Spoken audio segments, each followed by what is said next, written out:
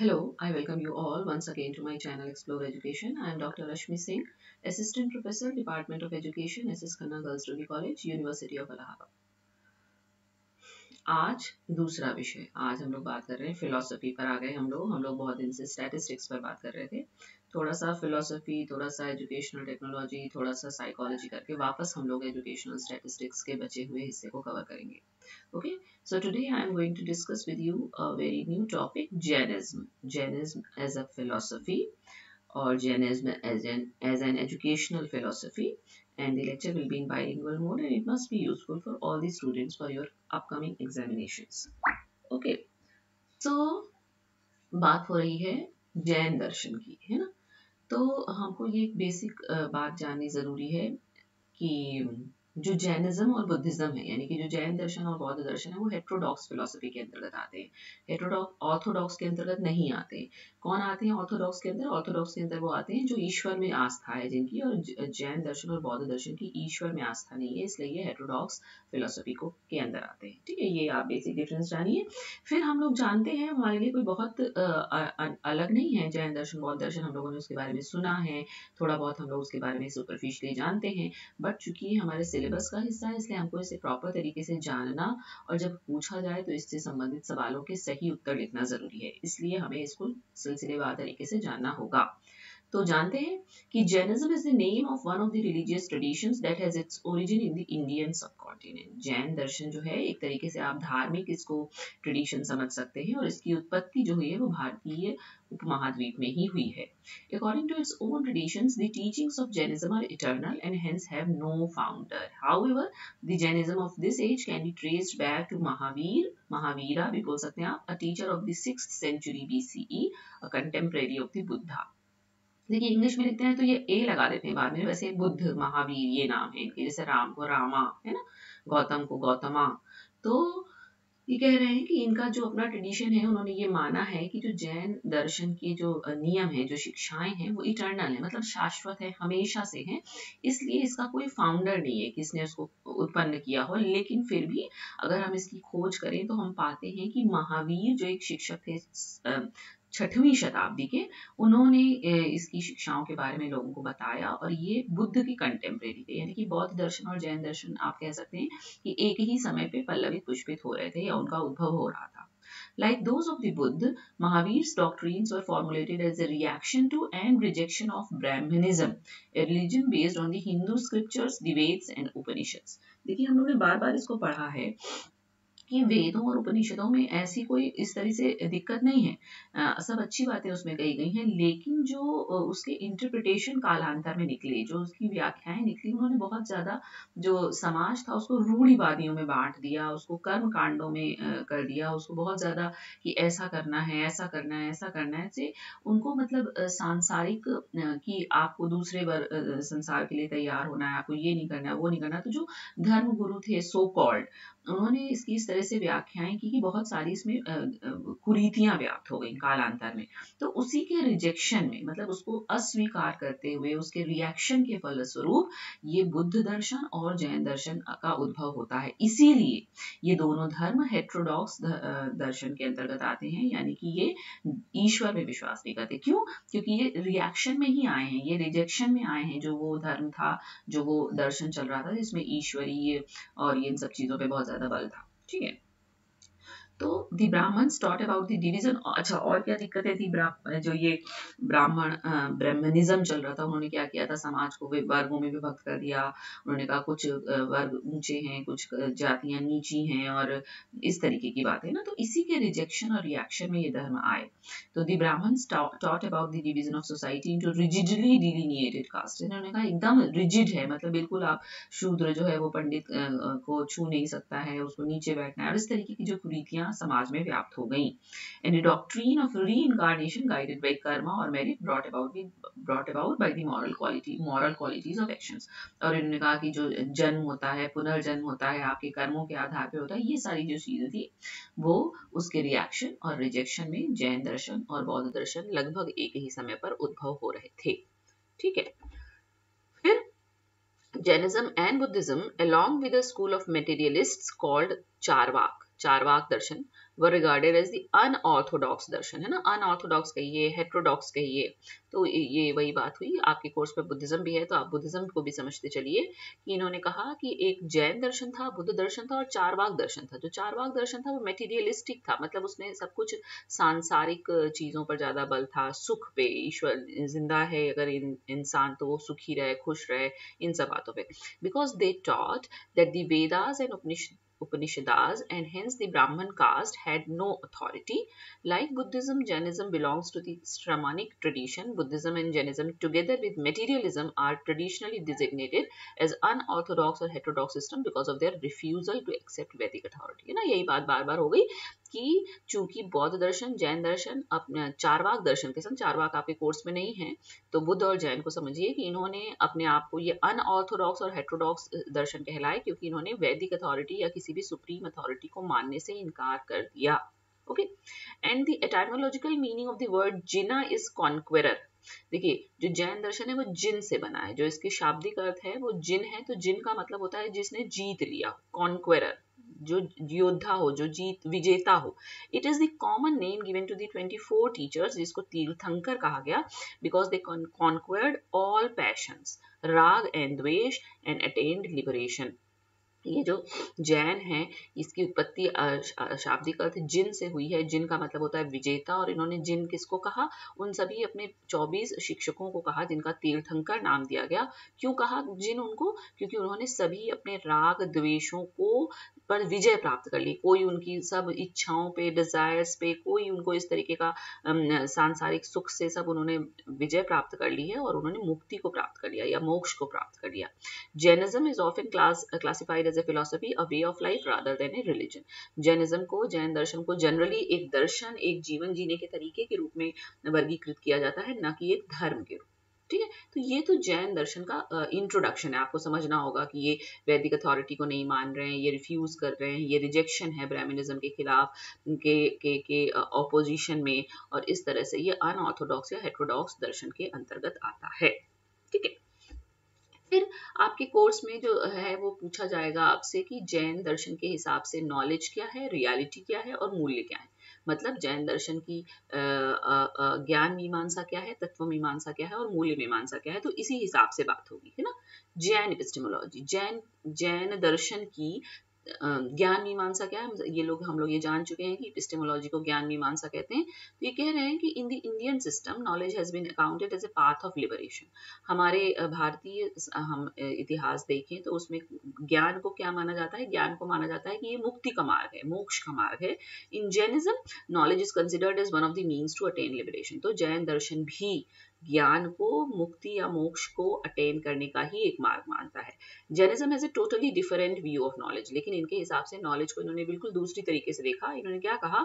Knowledge is not something to be grasped and possessed by the soul but it is a state of the soul itself इन्होंने कहा कि ज्ञान कोई ऐसी चीज़ नहीं है जिसको कि आप अपनी आत्मा के द्वारा उसको रख सकें, उसको पकड़ के रख सकें, उसको अपने पास संग्रहित कर सकें, बल्कि ये स्वयं एक आत्मा का स्वरूप है। यानी कि ज्ञान इतना बड़ा है जैसे समझ लीजिए आपकी आत्मा। Knowledge is the essence of the soul आपके आत्मिक जीवन का ये पूरा एसेंस है। ज्ञान। The liberated soul alone knows all objects in all aspects वो कह रहे हैं, और वो सोल जिस, जिसने मोक्ष का मार्ग प्राप्त कर लिया है, जिसकी मुक्ति हो गई है, वही अकेले सभी ऑब्जेक्ट्स को सभी रूपों में जानता है। Consciousness is the inseparable essence of every soul, which is able to manifest itself in other objects. वो कह रहे हैं, जो चेतना है, वो हर आत्मा का या हर सोल का एक इनसेपरेबल एसेंस है। मतलब आप उसको उससे अलग नहीं कर सकते। यानी कि चेतना और आत्मा एक दूसरे से मिली हुई है which is able to manifest itself in other objects मतलब जिसके पास ये शक्ति है ये योग्यता है कि वो प्राकट प्रकटीकरण कर सकती है, प्राकट्य कर सकती है अपने आप को और अदर ऑब्जेक्ट्स को भी।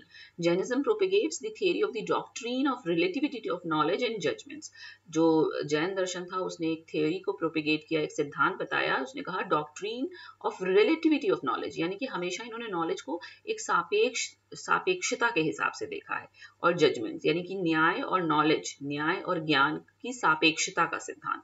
Jainism divides all knowledge into two classes the mediate जिसको परोक्ष कहा एंड द इनमीडिएट जिसको अपरोक्ष कहा। यानी कि जैन दर्शन ने कहा कि सभी ज्ञान को आप दो वर्गों में विभक्त कर सकते हैं, परोक्ष ज्ञान और अपरोक्ष ज्ञान। ठीक है? फिर मीडिएट नॉलेज यानी कि मीडिएट नॉलेज को क्या बोला था? परोक्ष। परोक्ष ज्ञान जो है वो ऐसा ज्ञान है which the soul comes to have by the mediation of sense organs any knowledge acquisition involve something other than the soul itself वो कह रहे हैं कि परोक्ष ज्ञान वो ज्ञान है जिसको आत्मा अपने उसके साथ अपने सेंस ऑर्गन्स के थ्रू ग्रहण करती है. On the other hand immediate या अपरोक्ष knowledge is that which the soul obtains without the intervention of the sense organs यानी कि जहाँ सेंस ऑर्गन्स का इंटरवेंशन है, आप अपनी ज्ञानेन्द्रियों से जो ज्ञान अर्जित कर रहे हैं, वो परोक्ष ज्ञान है और जो ज्ञान इंद्रियों के बिना अर्जित हो रहा है, वो अपरोक्ष ज्ञान है। The Jain classification of knowledge is based on the manner of acquiring knowledge rather than on the objects of knowledge यानी कि जो जैनियों ने, जो जैन दर्शन ने ज्ञान का वर्गीकरण किया है, वो इस आधार पे किया है कि ज्ञान को आप कैसे ग्रहण कर रहे हैं। ना कि इस आधार पे किया है कि ज्ञान की, का कोई कैटेगरी बना दिया हो। The basic difference between these two main types of knowledge rest on the way it is perceived the former is cognize with the help of senses while the latter is cognize without any help help. Senses यानी कि ज्ञान सिर्फ़ दो तरीके का है। एक ज्ञान जो आप अपनी ज्ञान इंद्रियों से अर्जित कर रहे हैं, वो परोक्ष ज्ञान और जो ज्ञान इंद्रियों के बिना ही आपको समझ में आ रहा है, आप उसको अर्जित कर सकते हैं, वो अपरोक्ष ज्ञान है।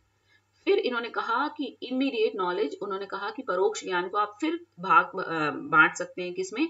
अवधि मानह पराय पराय और केवल, जिसको कैवल्य बोलते हैं ना एंड मीडिएट नॉलेज को उन्होंने बांटा है मति और श्रुत में। देखिए, इस तरीके का है, आप इसको याद ही करना पड़ेगा इसमें है ना आपको याद होगी जैन दर्शन ने क्या कहा, बौद्ध दर्शन ने क्या कहा, जब पूरा उसका इपिस्टेमोलॉजी पूछा जाए तो आप एटलीस्ट हेडिंग डाल के लिख सकें फ्लो चार्ट बना के लिख सकें। ज़रूरी नहीं है कि आप बहुत सारा आप इतना ही डिटेल में लिखें, लेकिन क्वेश्चन किस हिसाब से पूछा जा रहा है, इस पर निर्भर करेगा।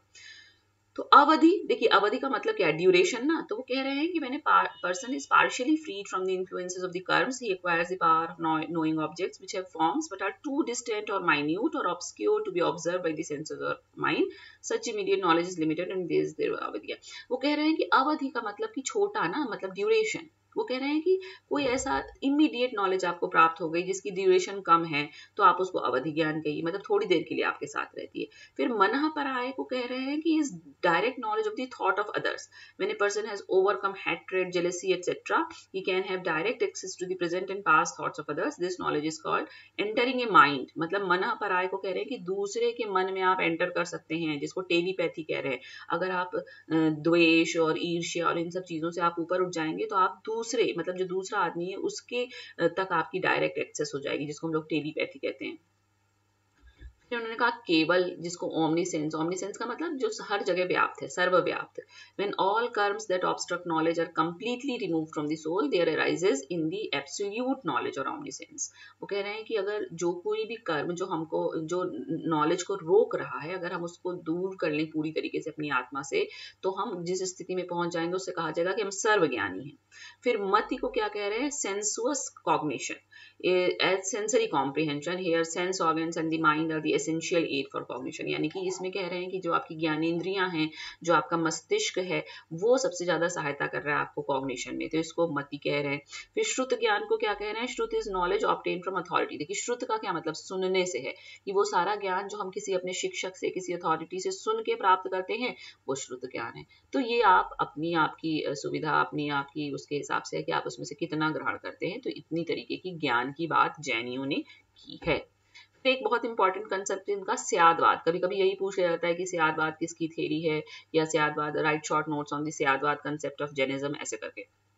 तो ये कह रहे हैं कि every judgment that we pass in daily life about an object is therefore true only in reference to the standpoint occupied in the aspect of the object considered वो कह रहे हैं कि हम अपनी रोज़मर्रा के जीवन में हमको कोई भी निर्णय मिलता है, कुछ भी सुनने को मिलता है, वो हमेशा रेफरेंस में सही होता है। मतलब आप, वो एब्सोल्यूट सत्य नहीं होता है। वो किसी ना किसी के रेफरेंस में कि हम क्या कह रहे हैं, सामने वाला क्या कह रहा है, कि तीसरा आदमी कैसे समझ रहा है उसको। In view of these facts the Jain insist that every judgment या nyaya should be qualified by some word like somehow syat syat का मतलब है समहाउ मैंने कैसे भी this is to say in some respect so that the limitation of this judgment and the possibility of other alternative judgments from the other points of view may be always clearly borne in mind. वो कह रहे हैं कि आपको के सामने कोई भी न्यायिक स्थिति आए, आपको न्याय लेना हो या आप कोई भी न्याय समझने की कोशिश कर रहे हो तो आप हमेशा ये अपने मन में रख के चलिए कि समहाउ ये भी हो सकता है। समहाउ ये भी हो सकता है कि सामने वाले ने ना देखा हो, सामने वाले ने कम सुना हो, सामने वाले ने गलत समझ लिया हो, इस तरह से। तो इसलिए जैन कहते हैं कि all our ordinary knowledge is necessarily partial इसलिए जितना भी हमारे पास ज्ञान है, वो निश्चित रूप से आंशिक है, क्योंकि हम हर आदमी के परस्पेक्टिव से उसको नहीं देख रहे हैं। Being always related to some particular point of view हम एक ही एंगल से देख रहे हैं।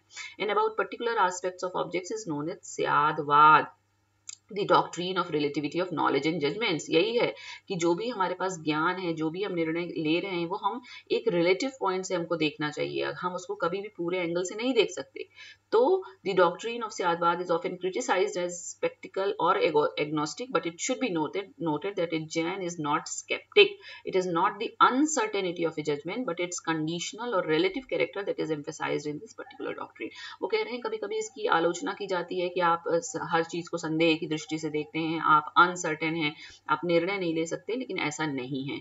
ये सिर्फ़ इसलिए है कि हम जब भी निर्णय लें तो हम दूसरे के एंगल को भी समझने की कोशिश करें और मान के चलें कि ये गलत भी हो सकता है।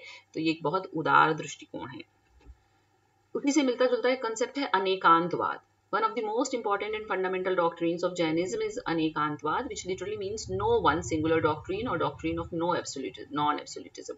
Jainism ये भी कहते हैं कि अनेकांतवाद मतलब कि कोई एक सिद्धांत सही नहीं है. It refers to a kind of ontological pluralism and to the idea that reality is complex and multifaceted and therefore can only be understood from a multiplicity of perspectives. ये मान के चलते हैं कि कोई भी आइडिया या रियलिटी इतनी कॉम्प्लेक्स होती है बहुत मल्टीफेसिटेड मतलब बहुत तरीके से आप उसको समझ सकते हैं। केवल एक एंगल से आपको उसको देखना, समझना नहीं थोड़ा थोड़ा सियादवाद से मिलता है। The metaphysical side of reality of anekantavad doctrine states that the object of knowledge is three aspects वो कह रहे हैं कि कोई भी नॉलेज का ऑब्जेक्ट है, उसके तीन एस्पेक्ट होते हैं सब्सटेंस क्वालिटी एंड मोड ठीक है? तो ये इस तरह से करते करते एक इसमें खास बात ये है कि ये कैसे डिफरेंस है स्यादवाद और अनेकांतवाद में क्या अंतर है? तो कह रहे हैं कि anekantavad is the knowledge of all different but opposite attribute anekantavad क्या है? कि किसी भी किसी भी ज्ञान के डिफरेंट जो एस्पेक्ट्स हैं, जो ऑपोजिट एट्रीब्यूट्स हैं, उनके बारे में बात की जा रही है। जबकि सियादवाद कह रहा है कि कोई भी ज्ञान का स्रोत है, कोई भी निर्णय का स्रोत है, कोई भी जजमेंट है, उसका हम रिलेटिव डिस्क्रिप्शन भी देखें। मतलब आप अपने एंगल से भी देखिए, दूसरे के एंगल से भी देखिए। तो थोड़ा सा ही अंतर है इसमें। वो कह रहे हैं कि जो अनेकांतवाद है, वो क्या करता है, हमको अलाउ करता है कि हम समझें और टॉलरेंट हो सकें, जो कॉन्फ्लिक्टिंग व्यू है उसके लिए भी। जबकि सियादवाद कहता है कि respectfully maintaining the validity of one's own viewpoint कि हम अपनी जो व्यू पॉइंट है, उसकी वैलिडिटी को रेस्पेक्ट कर सकें। तो थोड़ा सा अंतर है, आपको समझ के चलना पड़ेगा। कभी कभी अंतर भी पूछ लेते हैं। अब जैन की मेटाफिजिक्स क्या है? इनके हिसाब से तत्व मीमांसा क्या है? Jain metaphysics is both realistic and pluralistic तो, अब तो आपको समझ में आ गया कि ये रियलिटी पे भी बात कर रहे हैं और प्लूरल प्लूरलिस्टिक का क्या मतलब? प्लूरल का क्या मतलब? बहु ना? बहुवचन जिसको हम लोग बोलते थे। यानी कि बहुत लोगों की तरफ़ से भी आप इसको देखिए समझिए। It draws a sharp distinction between animate substances and inanimate substances यानी कि इन्होंने कहा कि जो जीव है या जो आत्मिक चीज़ें हैं और जो अजीव है अन नॉन सोल्स हैं उनके बीच में क्या है? की एक शार्प डिस्टिंक्शन है। जैनिज्म इज़ बेसिकली डुअलिस्टिक ये डुअल थेरी पे चलता है, यानी कि जीव और अजीव। ये प्लूरलिस्टिक भी है। क्योंकि ये अनेकांतवाद को मानता है, ये रिकॉग्नाइज करता है कि infinite number of animate and inanimate substances हो सकते हैं। Since it teaches that the infinite number of substances exist independently of our perceptions और अवेयरनेस ऑफ़ देम जैनिज्म में आल्सो भी described as epistemological and metaphysical realism देखिए, ये सब आपको समझना पड़ेगा एपिस्टेमोलॉजी क्या होती है मेटाफिजिक्स क्या होती है रियलिज्म यानी कि रियलिटी की बात कर रहा है। प्लूरलिस्टिक का मतलब बहुत तरीके से आप उस चीज़, किसी चीज़ को देख समझ सकते हैं, उसकी बात कर रहा है। जीव की बात कर रहा है अजीव की बात कर रहा है है ना? और ये कह रहे हैं the universe functions through the interaction of living souls and the five categories of non living entities ये कह रहे हैं कि जो ब्रह्मांड है वो किस तरह से काम करता है? जो जीवित है लिविंग सोल है जैविक आत्मा है और पाँच कैटेगरी की नॉन लिविंग इंटाइटीज के बीच में इंटरेक्शन से। कौन कौन सी वो नॉन लिविंग इंटाइटीज है? नॉन लिविंग मतलब अजीवित। आका, आकाश धर्म अधर्म काल और पुद्गल। पुद्गल किसको कहते हैं ये लोग? मैटर को कहते हैं। तो इस तरीके से इन्होंने बात की। थोड़ा सा आपको टिपिकल लगेगा, बहुत आसान नहीं है, समझना पड़ेगा। फिर जैन इथिक्स और मोरालिटी क्या है? कि Jain ethics is directed toward the liberation of the individual ये कहते हैं, मूल्य किसमें निर्धारित है? मूल्य किसमें निहित है? अगर एक इंडिविजुअल का लिबरेशन हो जाए, उसको मोक्ष मिल जाए, मुक्ति मिल जाए तो यही इसका मूल्य है या यही इसकी नीति है। Its orientation is there for religious इसलिए है तो रिलीजियस लेकिन गॉड में ईश्वर में विश्वास नहीं है। Its end is the spiritualisation of all areas of life in order to fit the individual for is final goal ये कह रहे हैं कि सारी धर्म का, जो भी इनकी शिक्षाएँ हैं, उसका अंत कहाँ है? कि स्पिरिचुअलाइजेशन मिल जाए हमको आध्यात्मिकता मिल जाए, हमारा लिबरेशन हो जाए सोल का, है ना? और ये क्या कहते हैं do your duty and do it is as humanly as you can वो कह रहे हैं, अपना कार्य करिए, अपनी ड्यूटी करिए और जितनी मानवता के साथ आप कर सकते हैं, उतना मानवता के साथ करिए। और Jainism permits no separation between religion and morality because both are considered concern with the well being of the individual in the world in keeping with his own nature मतलब इनके हिसाब से धर्म और नैतिकता में, धर्म और मोरालिटी में कोई अंतर नहीं है। क्योंकि कह रहे हैं कि दोनों का ही मतलब क्या है? सिर्फ़ इस मतलब है कि जो इंडिविजुअल है, उसका कल्याण कल्याण हो और जो संसार है, जो अपनी प्रकृति से चल रहा है, वो वैसे ही चलता रहे। It is the law which leads, binds, or takes back a, back a being to its essential nature, enables it to realize the divinity inherent in itself, helps it to extricate itself from the misery of mundane existence and reach the state of supreme beatitude. All beings seek happiness and try to avoid pain and loss. The practice of dharma enables them to achieve this end. तो ये कह रहे हैं कि हर व्यक्ति का मतलब उद्देश्य ये होना चाहिए कि उसको हैप्पीनेस मिले वो पेन और लॉस से बच सके दर्द और कष्ट से बचे और धर्म उसको इस इस मार्ग को प्राप्त करने में हेल्प करेगा। क्यों? क्योंकि सबका कल्याण है। सबके एंगल को समझना है। सबकी तरफ़ से बात को समझना है। धर्म और मोरालिटी में कोई अंतर नहीं है, ये कह रहे हैं। और क्या कह रहे हैं? Connection between religion and morality is often missed because Jainism delineates the pathway to spiritual perfection through the practice of yoga and demarcates stages of self-realization. But the roots of that perfection are in the soul of everyday life. ये कह रहे हैं कि हमको क्या करना है self realisation करना है मतलब कि हमको अपना रियलाइजेशन हो जाए कि हम क्या हैं योग से करिए मेडिटेशन से करिए for one who sets out on the path toward perfection Jainism presents the practice of ten great virtues इन्होंने कहा कि आप ये सब कैसे हासिल कर सकते हैं तो दस गुणों की इन्होंने बात की कौन कौन से? सुप्रीम फोर बियरेंस हम सह सकें, हम टॉलरेंट हो सकें, हमारे अंदर ह्यूमिलिटी हो, हम स्ट्रेट फॉरवर्ड बात करें, हम परफेक्ट ट्रूथफुलनेस मतलब जरा भी झूठ ना बोलें। प्यूरिटी हो आप में, शुद्धता हो परफेक्ट सेल्फ रिस्ट्रेंट हो, आप अपने ऊपर आपका नियंत्रण हो ऑस्टेरिटी हो कंप्लीट रेनेंसिएशन हो। नॉन अटैचमेंट यानी हमको किसी चीज़ से भी अटैचमेंट नहीं रखना है, कोई डिज़ायर नहीं है, कोई मोह माया ना हो। एंड सेलिबेसी तब जाके हम ये जैन की इथिक्स और मोरालिटी को प्राप्त कर पाएँगे। These virtues are to regulate thought speech and action ये जो गुण हैं, वो हमारे वाणी, हमारे हमारे विचारों और हमारे कर्मों को रेगुलेट करते हैं। They are an essential part of Jain ethics and are like ten in inextinguishable lamps which illuminate the path of the beginner ये कह रहे हैं कि ये जो दस गुण हैं जैन इथिक्स के जैन मोरालिटी के वो एक तरीके से हमारे लिए लैम्प का काम करते हैं जो हमारे पाथ को मतलब हमारे जो मार्ग है उसको प्रशस्त करने का काम करते हैं। अगर हम ये दस महान गुणों को अपने अंदर अपना लें तो हम आ, हमारा सेल्फ रियलाइजेशन हो जाएगा हमको लिबरेशन मिल जाएगा सोल को मुक्ति मिल जाएगी और हम मोक्ष के द्वार पर जा सकेंगे। ये इसका अर्थ है। और इन्होंने कौन से थ्री स्पिरिचुअल पाथ्स बताए हैं? राइट फेथ इज़ प्राइमरी तीन ये स्पिरिचुअल uh, पाथ की बात करते हैं कौन कौन से? राइट फेथ राइट नॉलेज और राइट कंडक्ट यानी कि हमारे अंदर सही विश्वास हो हाँ सही ज्ञान हो और हम सही व्यवहार करें। यही सही विश्वास सही चीज़ में विश्वास सही ज्ञान और सही व्यवहार।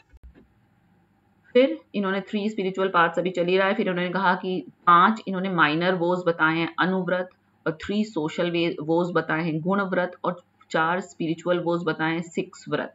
ठीक है? तो ये सब है। फिर ये कह रहे हैं नॉन वायलेंस आपको पता ही होगा कि जैनी, जैन दर्शन के अनुयायी जो हैं, वो बहुत शाम को अपना खाना पीना खा लेते हैं, फिर निकलते नहीं हैं कि उनके पैर से किसी छोटे से छोटे जीव की हत्या ना हो जाए।